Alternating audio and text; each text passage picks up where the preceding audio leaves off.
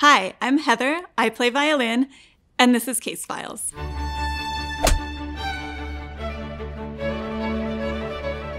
I want to show you my case the instrument inside, all the secret compartments, all the hidden pieces, and finally how the instrument makes its sound.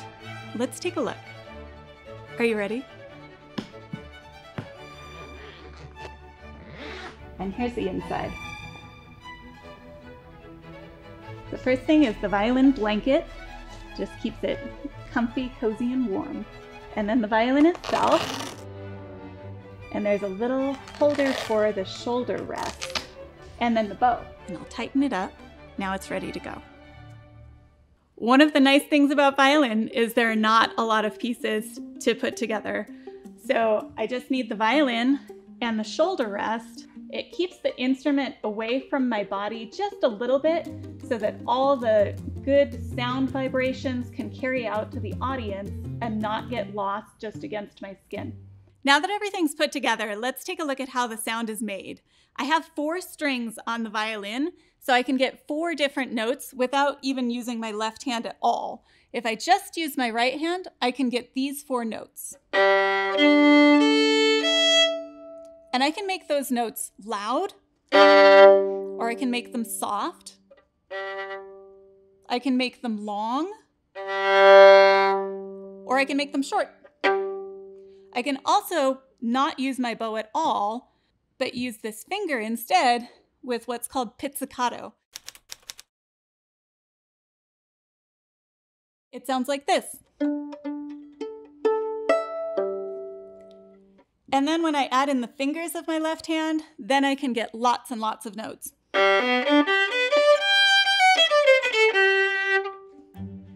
Put this off to the side so we can take a look at the case itself. Take a look at this.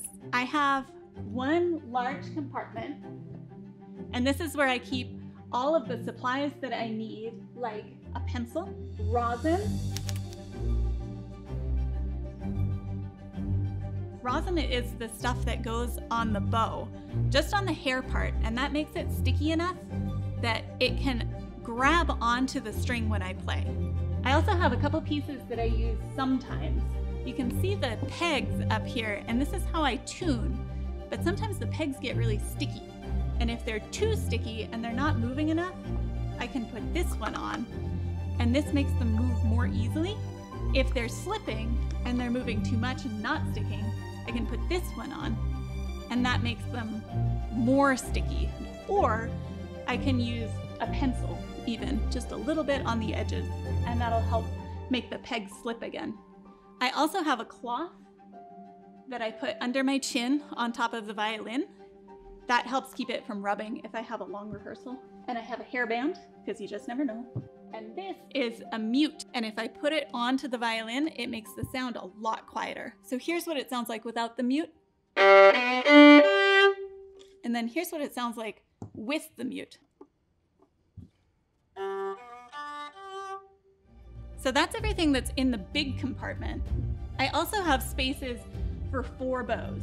And when it's time to fix the bow, I have a second case. So this little one is kind of like the little cage that you might take your dog to the vet in. So this is a case for the bow when it needs to go to the doctor.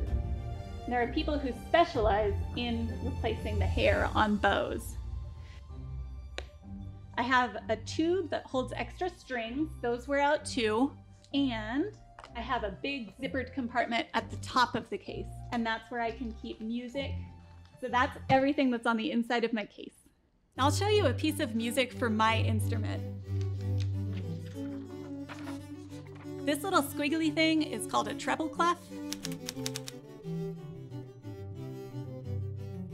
You see that at the beginning of the music, it tells you that the instrument you're going to be hearing is kind of a middle, sort of high instrument. And then the notes are all over in the staff here. I enjoyed showing you all of the special features of my case. Thank you for watching Case Files with the Reno Phil.